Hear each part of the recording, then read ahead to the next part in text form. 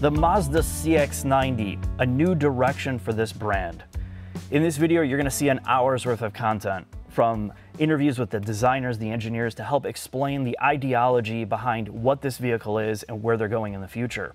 Mazda had pushed the front wheel drive architecture to the absolute limits of trying to make it feel more upscale, and they hit a wall. And they had to create a rear wheel drive platform that was similar to something you see in luxury brands like BMW and Mercedes. But the CX90 and its future iterations are all built in a price point where most of normal people could afford, starting around 40,000 and moving upward. So they're trying to bring a lot of that into this Japanese formula that they've been great at.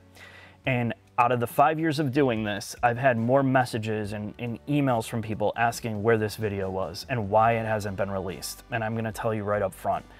This was a very, very difficult video for me to put together. Every time I went to go edit it, I just shelved it. And a lot of it was because there was a lot of content, and a lot of it was because we went through two different press cars where Jack and I were left with questions of, is this normal? Is this right? Is this what they set out to do? And over the course of making this video, I've had to go through reshoots and all of that, which is not a good sign, but I'm going to do my best not to throw the brand under the bus. I wanna be very objective about what it is and what it's not, the good and the bad, because when you create something like this new and there's so much energy and money put into it, I, I think they were in the right direction for a majority of this, but there's some things that they probably can improve. And I want to be fair to the viewers and I want to be fair to them as a brand. So I feel like my hands are tied in a way of trying to, to trying to assemble this video. But first, let's hear a little bit about what the CX90 and this generation vehicle is.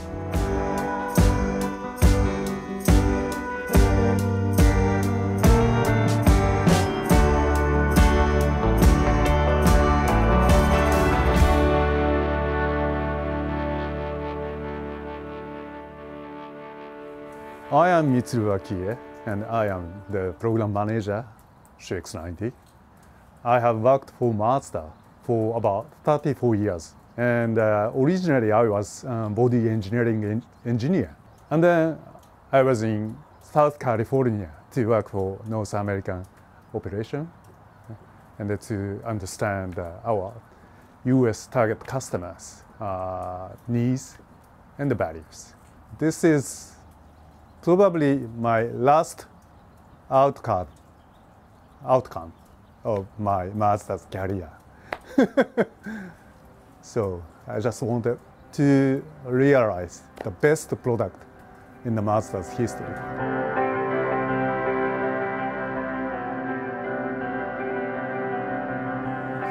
So I'm John Leverett, uh, launch strategy manager for Mazda. So planning the overarching product strategy um, before it reaches kind of the other departments. Well, we knew um, from CX9 that some of the things that we needed to prioritize were space. Uh, you know, CX9, as great of a product as it is, we know that it's a little small. Um, so when planning a new product, we knew that we wanted a larger size, um, but we also knew that we needed to keep the Mazda driving dynamics um, and keep the things that our customers love, um, that are kind of our brand identity items like performance, uh, ride and handling, things like that. So uh, if you're gonna if you're gonna add more size, uh, how can we do that and keep those handling aspects? And that's kind of how we arrived at that rear-wheel drive platform with an inline six engine. Yeah, so obviously with a higher price comes expected content. Um, and not only did we, you know, want to add things like ventilated rear seats, which starts to become an expectation now, heated rear seats, um, a panoramic sunroof, those things are expected. And then just some more luxury touch items like a power tilt and telescopic steering wheel. You know, it's the first time we've had that feature probably since like the millennia in, nine, in the 90s, you know? So uh, just some features like that that, that are uh, certainly elevate the product to kind of that luxury standard.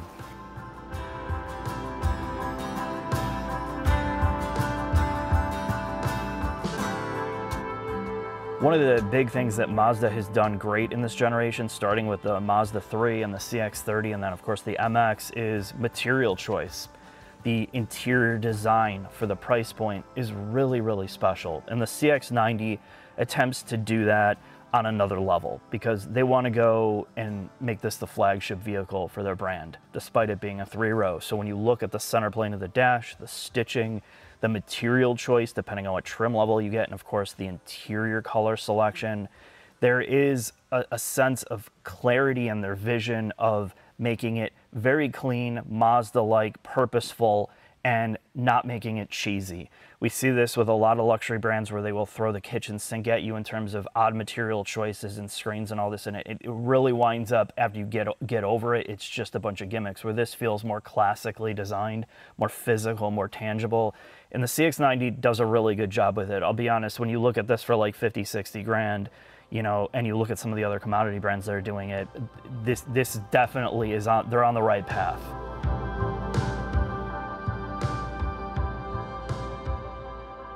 Now, when you look at the entire style of this, you can see that it's just got a classic Mazda design, but it looks so long and so sleek. For an SUV, it definitely has a presence to it. The one misleading thing about it in terms of design is the door skins are enormous. When you look at the door panel on the outside, you're just like, why? This is so big. And you'd expect that door from top to bottom to, to mirror the interior, but no, the bottom half of the door is actually uh, mostly just a cover up for the door sill. So on the outside, it looks like the inside would be much bigger than it is, but the inside is definitely still large. As a three-row SUV, you know, you want a lot of space. That's why you're buying this. The rear occupant room is excellent, and that's because they haven't screwed around with any type of electronics. The second row is captain's chairs, move traditionally with a handle that you can slide forward and back, and there's a handle on the side to recline, and the recline is at a good angle, so you can get really comfortable back there. With the way that they've given you the pass-through walk place in the middle. It's easy to get in the third row, and the third row is adequately comfortable from what you expect in this class of vehicle. Again, the rear seats kind of mirror the front. They are on the firmer side again, but I think that overall the usability and space in the back is excellent. Now, there is second row climate controls, which carry with the vent work towards the back, but there are only two vents for the second row, which are in the center console here in the back. So that's something to note. There is heated seats in the back if you opt for that, you know, the, the package that has that. So I think there's a good blend of features and usability in here overall. And with the seats up in the back, you can store plenty of things. But really the, the big thing is, is when you put those rear seats down and you put all the seats down, it's a massive space. In the back with the PHEV, of course, with the hybrid drivetrain and the battery pack, you get a 1500 watt power supply, which is great for all the pumps that I use uh, for my body and other tools that I use. So you have that extra power capacity if you're going out in the wild. The rest of the interior space, a lot of this is traditional Mazda approach that we saw in the Mazda, the Mazda 3. It's the concept of not overburdening the driver with too many physical things in front of you, either touch or just physical controls. And that's the infotainment dial. There's only roughly five to seven buttons for everything. The shifter is very simplified. All the HVAC is physical. Most of all the control structure in this car is physical. The infotainment screen is operated by a rotary knob like iDrive used to be for BMW. It works great. It's very simple to use. And they've kind of pedaled back on the touchscreen aspect because you can use the touchscreen inside Android Auto and Apple CarPlay, which is really helpful for some features. Everything else here is traditional Mazda stuff. The fit and finish is pretty good overall. The material choice, depending on the trim level, you can get this alloy look, which has a black paint in it or a black accent that makes it look like it's laser etched, but it's not. It's It looks very 3D. They know how to do interior material choice, and this is just a highlight of the best thing they can do for the dollar amount that you can spend. The interior usability is a mixed bag. And what I mean by that is they talk about the audio system, how they move the bass driver from the door panel to the kick plate by the footwell to not only save space, but it's better for the audio system. But you would think that the door panel, in just how large the doors are, would have much more minivan-esque storage. And it's really small compared to some of their competitors. You have such a small door panel, you would think that the packaging would be better there. Uh, things like the center console are enormous. It is really well designed, but it's an enormous place with not a lot of storage. And things like the wireless phone charger in the front, you're like, oh, okay, that's a convenient spot. Because of the rake that it's at, it's not angled downward enough where your phone, if you take a turn or you hit the brakes, it's so easy for your phone to fly out of this space and it's constantly moving off the wireless charger. There's things like this that don't make a lot of sense. And another thing is, when you look at this armrest space, you would think this would be a chasm of storage, and it's not. I think that's the big thing about this car that surprised me on the interior. When you get over some of the beauty and simplicity of design, the storage is not the greatest thing in the segment.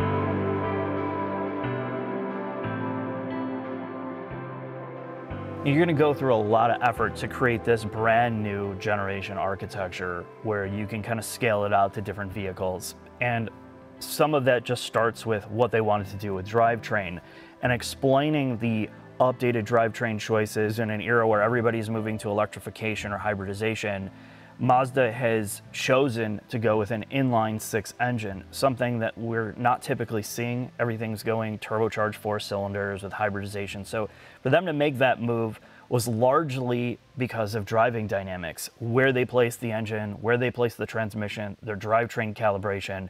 And we had a chance to talk with Dave Coleman about that decision along with one of their drivetrain engineers.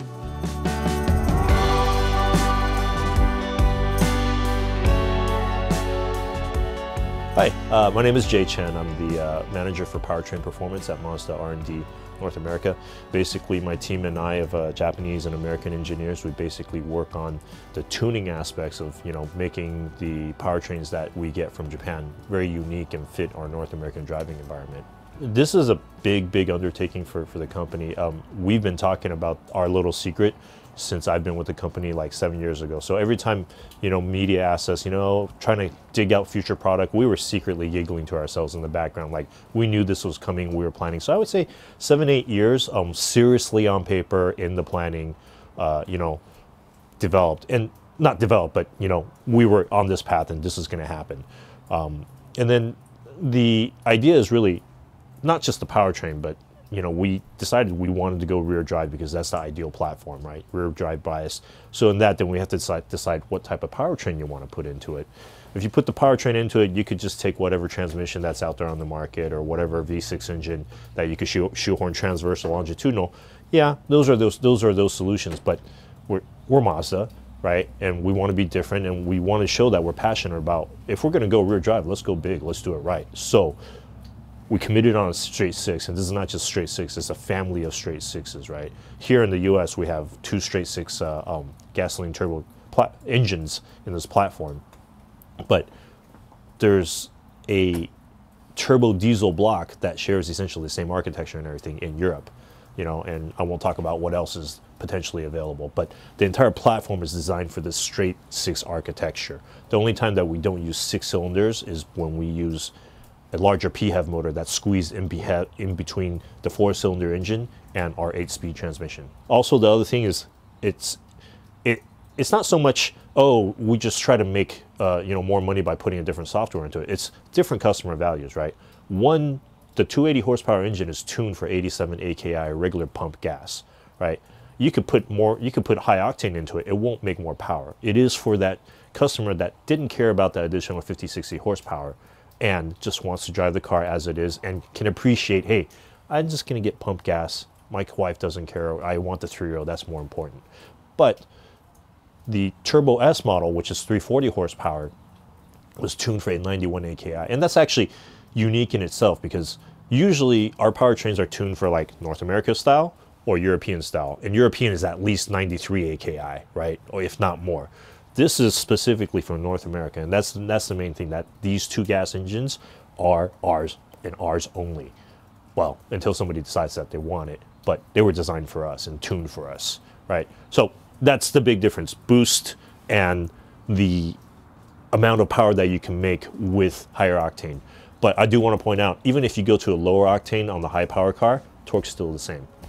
still 369. If you liked our gas engines from previous generations, their Skyactiv 2.5 non-turbos, that's what that 280 horsepower feels like. It's it's turbocharged, but it's so linear, predictable, and consistent. Whereas the 340 horsepower, we try to let it stretch it a little bit towards the end, reward you a little bit more. You know, in, in trying to make a cool rear-wheel drive platform using a straight six, you got a problem. You got a very long engine, right? And if you can either, you got two solutions. You got hang it forward of the front axle, on top of the front axle, or try to shove it as far back as possible.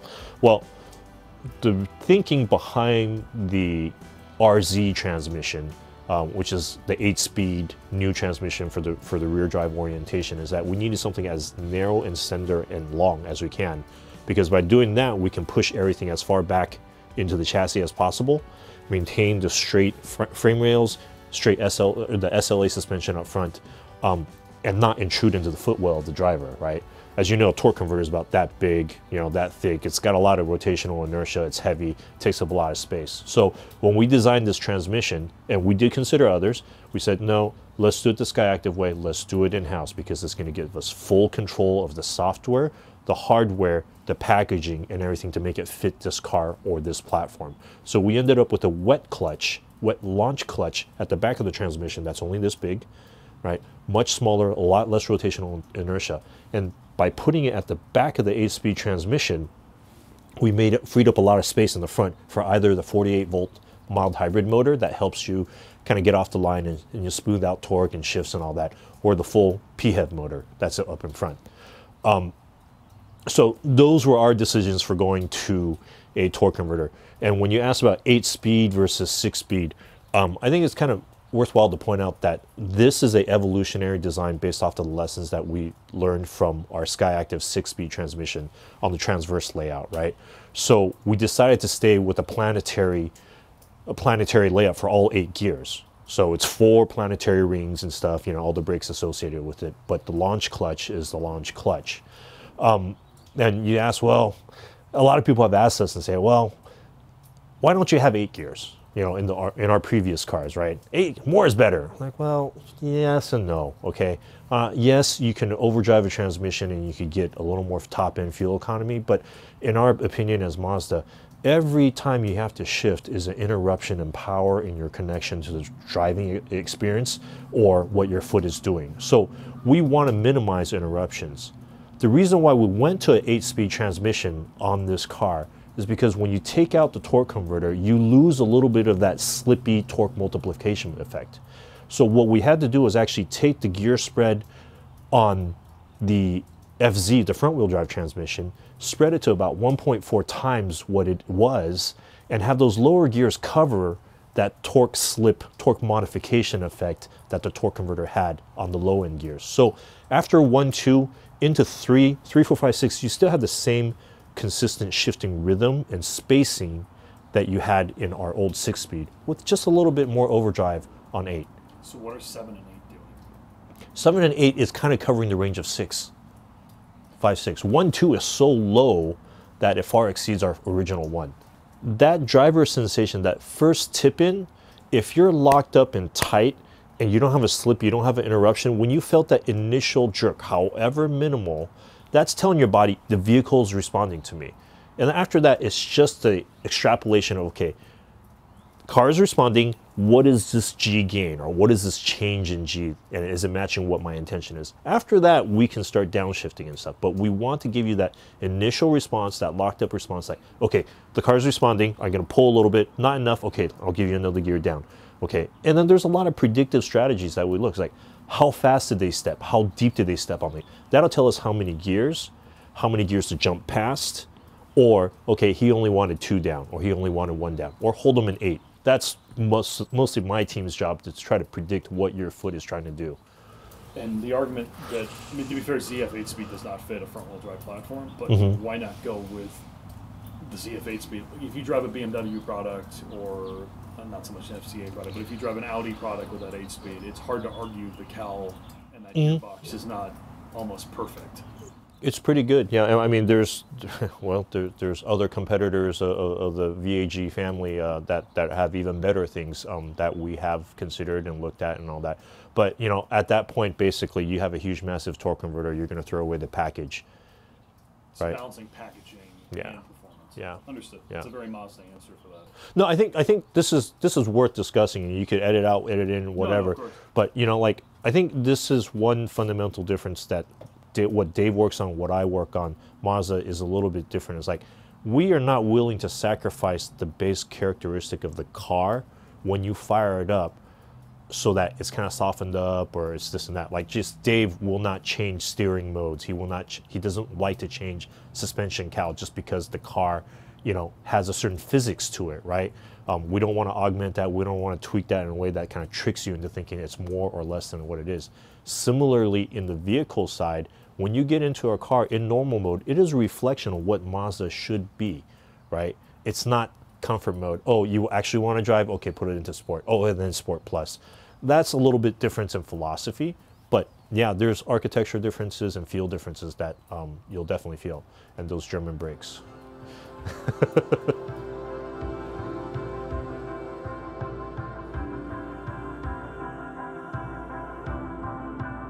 I'm Dave Coleman. I'm the manager of vehicle dynamics at Mazda North America.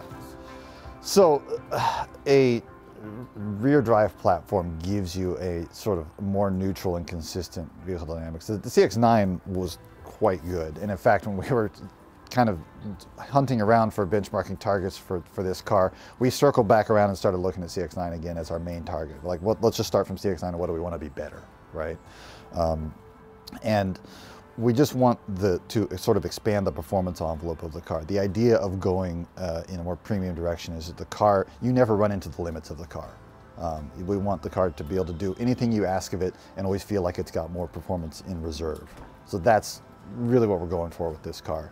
So uh, in ordinary daily driving, it should just feel comfortable and natural. And then as you start pushing it, you're not you're gonna have a really hard time reaching the limits of the car. And if that means pushing it, you know, chucking it around the entrance ramp, or if that means you know going up to your favorite camping spot and the road's washed out and you have to go over some really weird slippery stuff, it's gonna go do that. If it means hooking up a big trailer to the back, it's gonna do that. It's just a matter of expanding the capability to beyond what people are expecting of it. The benefit of a double wishbone uh, is a couple things. For cornering, uh, when we go into a corner, the body rolls and the tire would want to roll with it. The double wishbone, the upper wishbone being shorter, pulls, as it compresses, it pulls the top of the tire in and keeps that tire upright. So we end up with more front grip. Uh, and, and ultimately, we want to maximize the grip at both ends of the car and use up all of the grip on all four tires at the same time to, to get the most ha- handling performance out of the car. Um, but from a ride viewpoint, also, uh, a MacPherson strut has a bunch of side load on on the strut itself. Like the if we have a strut here, the wheel is pushing this way, and it's putting a side load on the sliding part of the strut, which puts a little bit of friction in there. So every time you run over a bump, to get the wheel to start moving, it has to overcome that friction first and then start to move. And a double wishbone the wheel position is completely supported by the, the joints, the ball joints and the bushings in the suspension, and the, the, the, the sliding part of the shock is just sitting on there holding up the weight. There's no side load on it. Uh, and so that moves more smoothly at the very initial stroke. Uh, and that initial stroke helps ride quality. It also helps steering because when you turn the, the very the more subtle, the more small your steering input, the more we want a very small, subtle matching reaction from the body to get the car to, to naturally sort of trace your inputs. Uh, so friction reduction in the suspension is a big deal for us.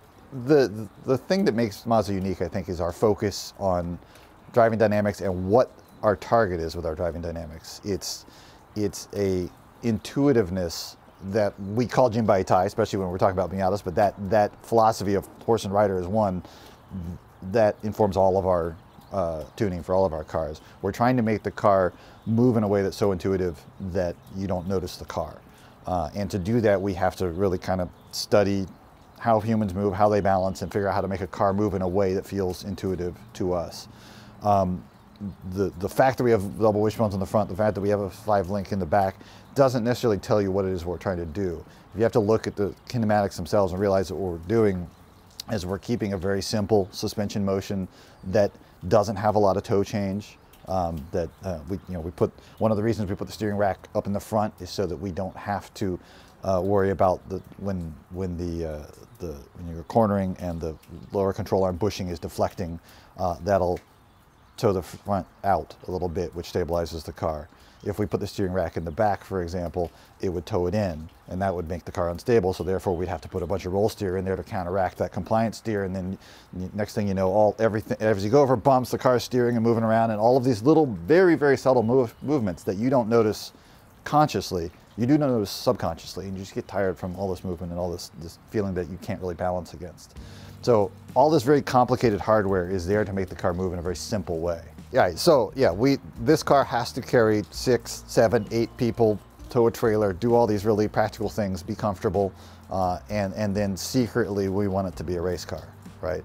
That that's that's you know us, you know that's what we're really trying to do. If your philosophy for driving dynamics is what ours is that the car should be linear and predictable and consistent, that lets you marry these two seemingly conflicting things, right? Uh, we don't necessarily want the car to be the softest thing possible that isolates you over all bumps, because if you do that, when you hit a slightly bigger bump than we anticipated, it all falls apart. Um, what we want the car to do is be completely predictable so that you know exactly what it's going to do. When you see something on the road ahead, boop, that's exactly what I expected it to do. When you turn it into a corner, it goes exactly where you expected it to go. And that is a philosophy that will translate across normal daily boring driving and driving fast. Um, if you're trying to just be comfortable and just drive gently and you give it gentle inputs, it moves gently. And if you're trying to be aggressive and go have some fun, it'll be fun. Uh, and that linearity gets you that. All modern all-wheel drive systems, 99% of all modern all-wheel drive systems, will drive two of the wheels all the time directly off the transmission, and then the other two wheels get driven by a clutch sort of on demand. Uh, that idea has been around for 20, 25 years. They used to be pretty dumb and reactive, where you would spin the, the, primary drive wheels and then it would engage a clutch and send power to the other other end. And that was good for not getting stuck, getting out of a snowy situation, but it was terrible for driving dynamics because you'd lose control and then regain control. Um, as our control systems have gotten faster and faster and our precision of how, how exactly we control that clutch has gotten better and better, we can do much more sophisticated things with that same concept of driven wheels and secondary wheels. Um, so there's two different things that go on when you send torque to your secondary wheels. Uh, as you lock up that clutch, you make those front rear wheels go the same speed, which of course makes the car want to go straight. Um, and if any amount of preload on that clutch will create a little bit of, of damping when the car tries to rotate, when it yaws, right? So managing the trade-off of uh, torque split versus yaw damping um, started off as a, a, managing a negative and has evolved to where the, the yaw damping control is actually one of the most useful tools that we have. It's now a positive point that we can use the all-wheel drive system to adjust the yaw damping of the vehicle. Um, so for example, the, the way we basically balance that is we've got three algorithms in, in the system that are, are looking at the, the all-wheel drive system from three different angles. There's one that's trying to predict uh, which tires are going to have the most grip and send the torque there. And you can predict that pretty easily because the amount of traction you have is the, the mu of the surface times the normal force being pushed down on it. We don't know the mu of the surface, but we know how hard each tire is getting pushed down indirectly by knowing how heavy the car is and knowing where, where the center of gravity is in the wheelbase. And just looking at the G sensors, the, the weight shifts forward or back, uh, we can calculate the load on each tire and send torque where, where it's likely to have the most grip. Now, if we get in a split mu situation, we can't predict that. So we're also, of course, watching if one wheel suddenly starts going faster, we'll catch it within a, the fraction of a rotation and send torque to the other end and, and, and react to that if we need to. But both of those things are just looking at traction. And if we happen to be in a situation where we've got a, a, that torque transfer clutch locked up pretty hard and we're trying to turn, the car's just going to understeer. So we have a third algorithm that looks at steering input and trims down whatever torque split we have at that moment and reduces it in proportion to the driver's steering input. So the car will carve a natural uh, arc through the corner.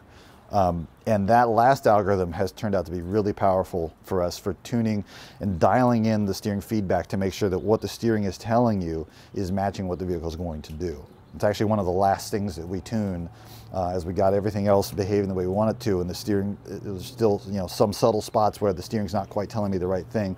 We'll tweak that all-wheel drive algorithm until it's, it's, it's communicating through your hands exactly how the car's going to go around the corner. So yeah, let, let's let's talk about active torque transfer and and and, and uh, torque vectoring and all that kind of stuff because that's stuff that we we don't do very intentionally. It's not like a cost savings thing. We could torque vector with the same hardware that we use for kinematic posture control. What we're trying to do is make the car carve through a corner in a certain very predictable natural way where the g-forces and the yaw motions that you feel come from the front tires turning building up load pitching the car forward you know, the, the, the, sequence of load transfer through this, the chassis is consistent and predictable and it makes it easy for you to control the car there are cars that have uh, torque vectoring systems where you'll go into a corner it'll do a certain thing you'll reach the limit and so, suddenly some yaw comes out of nowhere and it does more I don't personally mind that. I think that's fun, but I'm a rally driver right? I like you, you, can you can expand the envelope beyond what you expected to do. But what we're after is completely predictable behavior. So we want to get that extra margin by making the original existing load path and uh, through the suspension make that work better.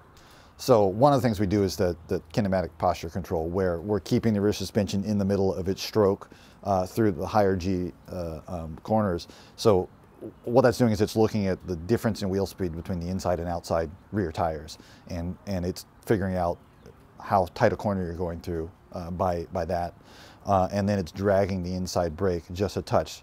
If we drag the inside brake a lot, we get torque vectoring. Uh, we increase uh, introduce a yaw moment, but we're not dragging it enough to do that. You actually, you know, watch the data with and without the brake, and there's no change in the yaw moment. But what we're doing is just enough to put, pull down on the rear suspension uh, because we have anti-dive geometry that, that helps prevent dive. That same geometry just pulls the inside rear down a little bit. And that keeps the suspension in its more neutral uh, posture through the corner. Reduces body roll a touch, um, but mostly what it's doing is making the car behave more predictably through the corner. Your priority isn't necessarily the most nimble feeling car, but it's the most linear feeling car. Right. The most nimble feeling car is a synonym for the most twitchy feeling car. Those, those are two sides of the same coin.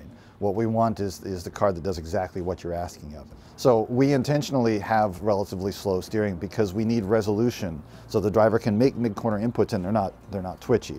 If you have a, there's a, there's a trend in a lot of cars these days have really fast steering racks because electric power steering sort of opens up these possibilities.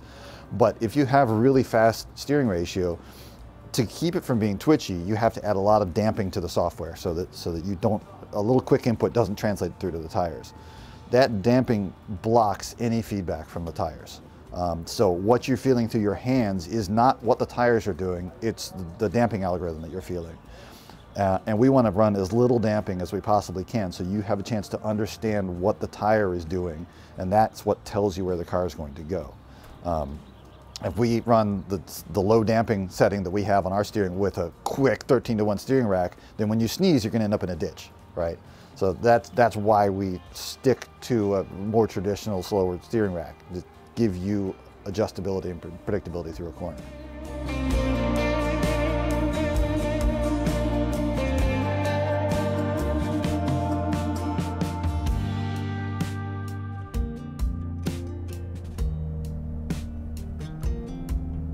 Is it Takumi time, Mark? Yeah, give it to me, and I need boost mode too. I put it into Put sport. it past the detent for boost mode. I've been boosted. Four cylinders, PHEV. We're in the model that I think most people are going to buy because of the fuel economy benefits. This is not the inline six, though I've driven essentially every every iteration of this car. Turbo S, regular inline six, and now this PHEV. I'm gonna put it back into. And why are we normal. in the PHEV now, Jack? Because our Turbo S pre-production press car that we got a couple weeks ago wasn't right, and during the launch program, I focused on shooting interviews with everyone who made this car. So hopefully by the time you get to this section of the video, you've heard from all the Takumis themselves and the Takumi's dogs and everyone associated with this car at this point. They're, they're house cleaners. Yeah, everybody, their personal masseuse. Like we, I have to put this out there because we're a Mazda sympathizer, uh, and uh, I really like the brand. It's a brand that doesn't have a lot of resources and maximizes everything that they do. And, you know, there's a lot of excuses that you can make for a team that works as hard as they can or they don't have 500 people to, to work on one thing. Yeah, they're not a Toyota. They're not a Toyota, they're not a Ford, they're not a GM. They consistently churn out the best thing that they can do with the resources, and you know I'm already setting this up to You, make have made a lot of excuses so far. All right, So the other CX90. side- Everyone's asked me, and we've heard Yeah. from everybody. How does this thing drive? What do you think about it? Uh, so I don't have as much time in it as you. I've driven the Turbo S in this. And one of the reasons why, as you already stated, I couldn't release a video on the Turbo S because I wasn't particularly sure that there wasn't something wrong with it. From the cross traffic alert system malfunctioning, thinking there were cars always there when there's nobody around, Which even it on still does in this PHEV. Uh, so the software weirdness, uh, there's drivetrain growl. When you turn and accelerate, there was a vibration through the entire car that felt like something was loose or vibrating. Uh, and then, you know, there, there was other things. So I'm just, I gave it a pass and the ride quality was, I, I don't know what was going on with it, but we sent it back and sent it to the dealer to see what was up. So this car is the replacement for it. And I will say, let's start with the body control and handling. And I know Dave is going to be mad because we're not on some canyon road with this thing, but this is a reality of what people But I drive. did drive the Turbo S in San Francisco on his drive route. Okay, and how was it? It's a very uniquely Mazda product. Okay.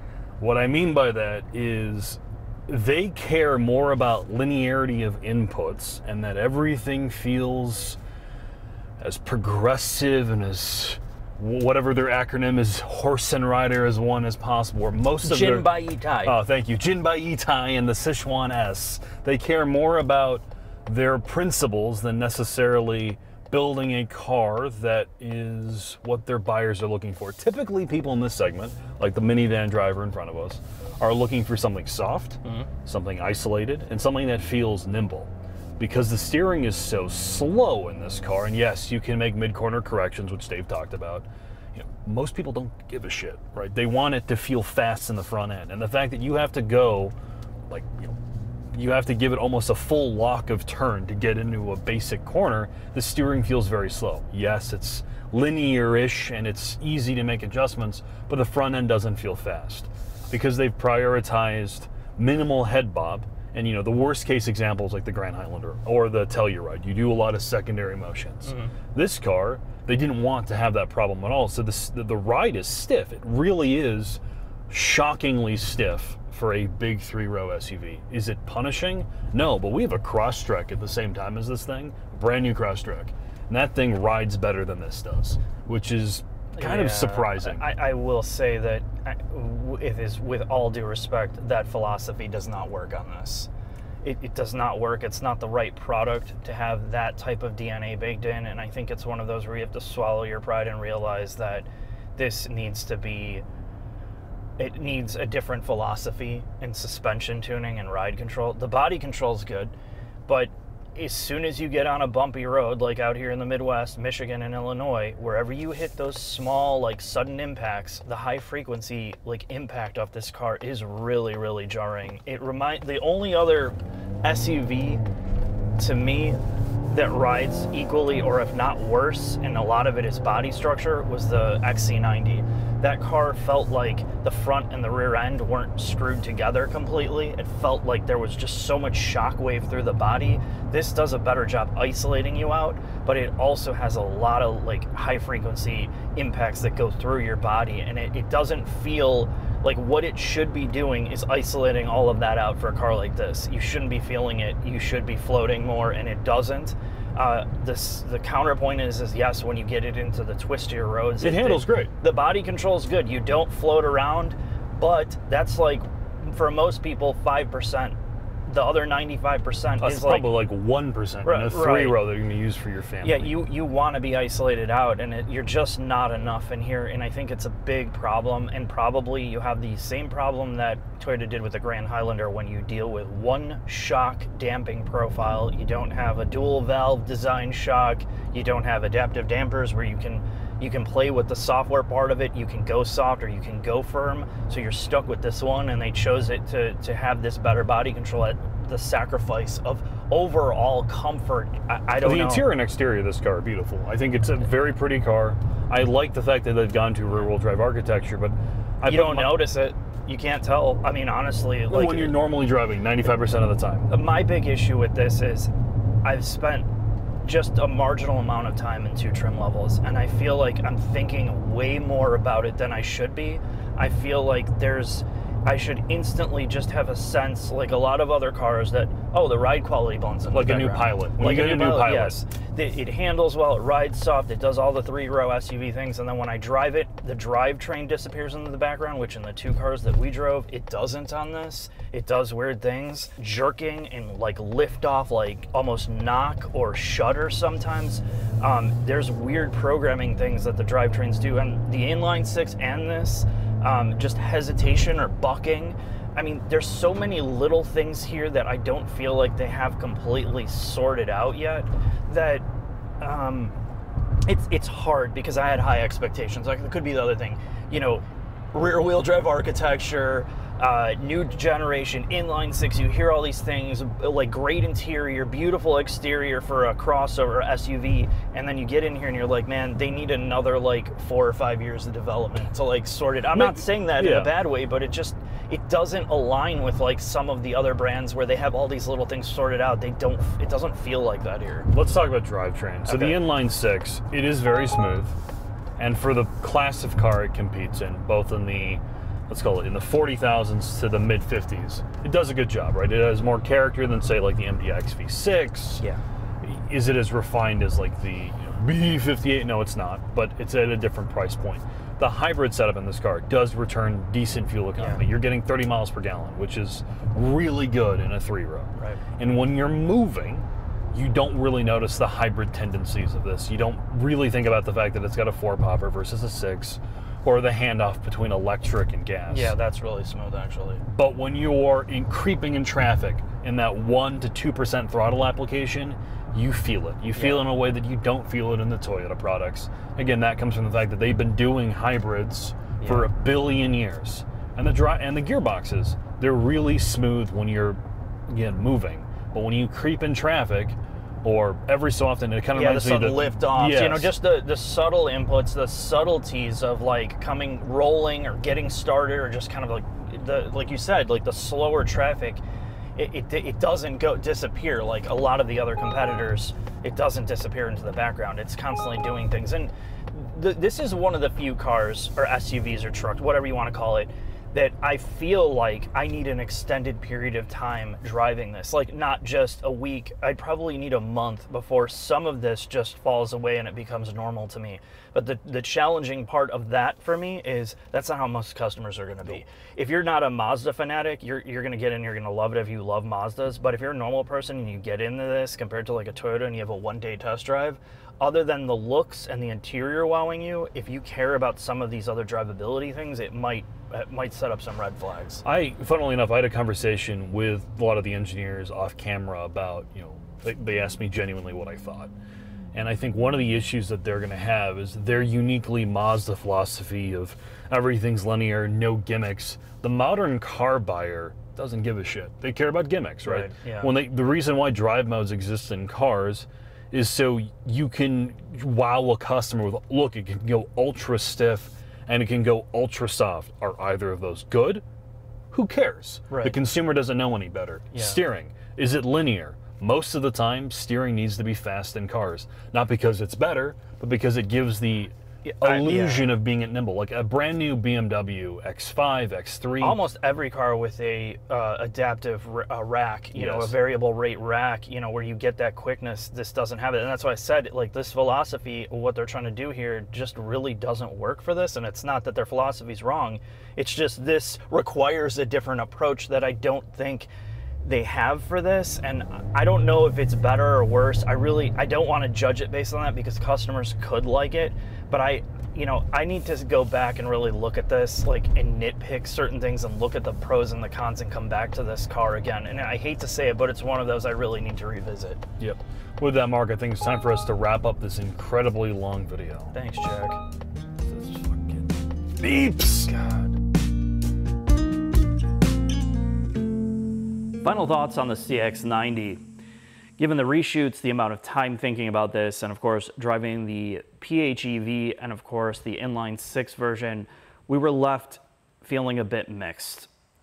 After driving almost all of the three row competition from the Pilot to the MDX, the MDX Type S, the X7, the Audi equivalents, you know, there's a lot of competition out there now. And I think what they're trying to do is find some middle ground between the luxury products and the commodity products and find this real sweet spot where they're trying to focus on driving enjoyment and driving linearity, and of course, offering you some luxury appointments while ma- not making it feel so cookie cutter. And in this chase to do it, I, unfortunately, I think some of the other brands have outpaced them in their own game. When you drive the Pilot, despite it being a front wheel drive architecture with a torque vectoring rear, it just feels softer. It feels like it rides better most of the time. It feels more nimble under that 70% driving threshold. The MDX is very similar to that. And you look at things like the Telluride and the Palisade, which are ancient at this point, they always ride softer, but they are horrible to drive above 50%. But I think the main takeaway is, is if you're buying a three row, most of the three row expectations, like the Highlanders, the Grand Highlanders, is that they are really soft. They don't need to be great driving because you're never doing that. You're hauling, you're, you're towing, you're putting people in it. So I feel like a lot of the, the tuning of this car sacrifices some of the things that three row people are going to care about in the chase of, you know, maybe making it more engaging to drive, and it's really still not that engaging to drive. Uh, and that was the big thing. Some of the drivetrain calibration was also a little bit off. The the inline six version, the performance version that we drove, or the Turbo S, uh, there was more driveline shudder in that thing than I've ever felt in a modern car. It felt like there was a lot of vibration either from the differential or the drive shaft. There was just a lot of vibration that came from the engine at certain RPM that wasn't isolated out. That's why we thought there was a problem. The PHEV definitely smoothed things out. Um, but there's still strangeness in transmission tuning and calibration where there's the switchover point where you have electric assist to transmission, like gear hunting sometimes. It's not perfectly smooth. And I think that's where, of course, in a first generation product, despite as much work as you can put into it, there's still some things to be sorted out there. And philosophically, you can't argue with Mazda. This is what they want to do. This is what's made them different from everybody else. That the driving part, the connectedness part, I just think as a three row SUV, this is not the vehicle that really needs a lot of that. And I think in some cases it's worse for trying to inject some of that in. And I know that's bad, but I feel like some of the other brands have figured out how to do it better. Where as a everyday vehicle like the CX9 was. I think the CX9 even did a better job than the CX90 did at trying to make it that cruiser, that smooth cruiser, um, easier to drive. It felt softer most of the time. But anyway, you know, this to me is probably one of the more interesting vehicles I've ever driven in this price range and it, it's a testament to them as engineers and designers are really not trying to do the same thing. We complain about this all the time. Every brand's trying to copy and paste and do their do the same thing, chase popularity, and Mazda is just trying to do their own thing.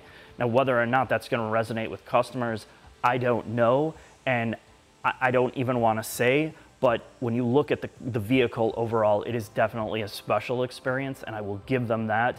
It's something that you want to get in, and if you're looking for that different three row that's not the same thing, you're really gonna appreciate what they did. And I, Jack and I both really do love that about the CX90. I can't wait for their other products on this platform to see how they scale it out, how they make improvements, and we'll cover it then. Thanks for watching. See you next video.